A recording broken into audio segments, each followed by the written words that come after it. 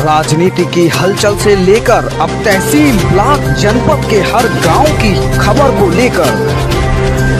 पर समय जगत, एक संदेश पूरा देश, एक आगाज़ सच दिखाने का। हम हैं आपकी आवाज़।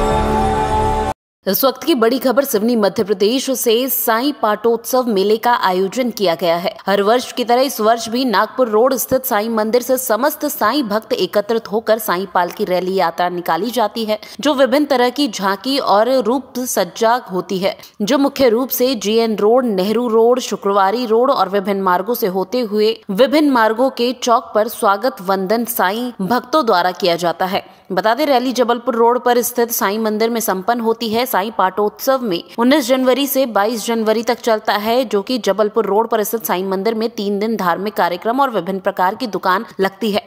इस प्रकार साई पाटोत्सव आयोजित किए जाते हैं। समय जगत से सिवनी, मध्य प्रदेश से ब्यूरो चीफ नरेंद्र सोनी की रिपोर्ट। पर समय जगत, एक संदेश, पूरा देश।